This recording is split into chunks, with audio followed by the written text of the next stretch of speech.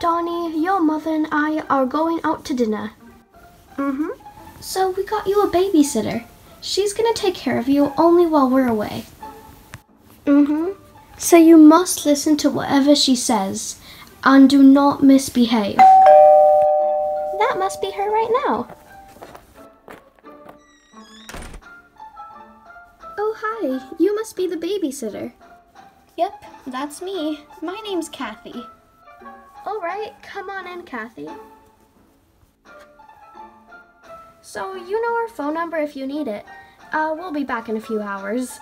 Come on, hero. All right, see you later.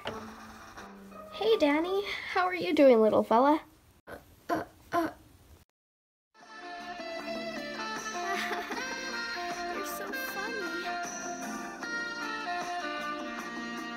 I love you, Danny. Are you okay? Did I say something wrong? Huh? What? Oh, I'm I'm sorry. Ah, you almost got water all over me. Uh, I guess I'll go clean this up. Thanks a lot, fella. Oh no, we'll never have the future I dreamed of. We were going to have kids, and we were gonna have a big wedding. Uh, wait, I will make it up to her if it's the last thing I do.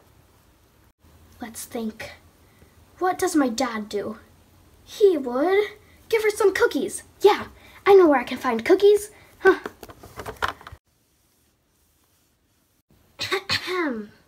huh? My lady, I have brought you something that I think you will very much enjoy. For I have brought you a cookie. Hmm, I guess I'll give it a try. Thanks. Where did you get this? It tastes horrible. Really? I got it from the dumpster behind my house. Ah! Wait, I can't explain. Take one step closer. And I'll call the cops on you for being a little brat.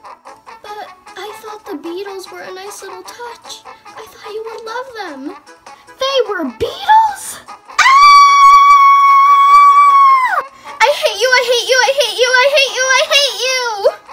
But I love you. Ah!